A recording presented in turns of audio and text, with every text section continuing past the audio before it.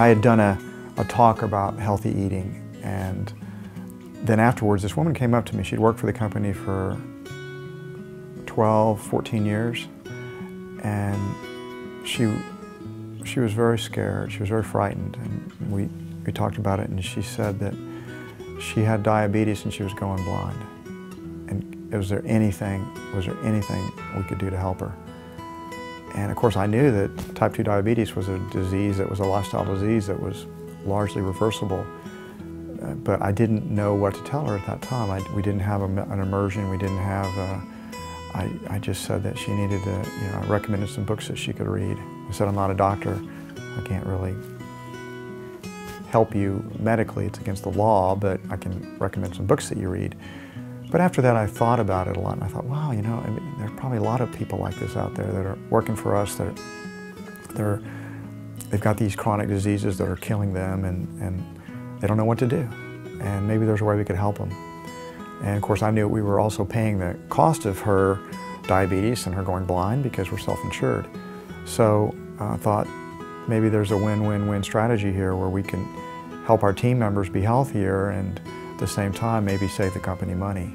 That's the kind of thing that uh, a good business is always trying to do, figure out solutions to problems where there are multiple stakeholders are benefiting from it. And then through conversations with Dr. McDougall, I mean, he told me that he had done uh, some work with Blue Cross Blue Shield many years ago and had been very successful. I had a chance to take care of the employees of Blue Cross Blue Shield of Minnesota. I took care of these groups of employees for a year at a time three groups of people. But what we found is the average reduction in healthcare costs based on their claims data was 44% in one year. That sent a light bulb off my head. I thought, wow, maybe we could do this for our sickest team members. I was thinking about that woman in my mind, and if she had a program like that to go to, she might be able to get her her diet under control and reverse her diabetes, and, and uh, that would be great for her, and it'd be good for Whole Foods. It, it would be a win-win, good for her family. It's not everybody wins. And so, and through talking through Dr. McDougall, to, Mc, to Dr. McDougall about it, and he said he'd be glad to do an experiment with it. And so we started out the immersions, I think initially with uh, Dr. McDougall was the fir first one we did. So you should leave here. In fact, I'll make you a promise. It's uh, Saturday night. You're going to be leaving here Saturday morning, a week, a week from now. Uh, the promise I'll make you is you'll understand what your problems are and what the solution is. If you have to be on medications, you'll be on the least expensive, the most time honored, the safest of the medications possible, and the least amount of those medications possible. Uh, you'll understand how to get control of your health and solve your problems.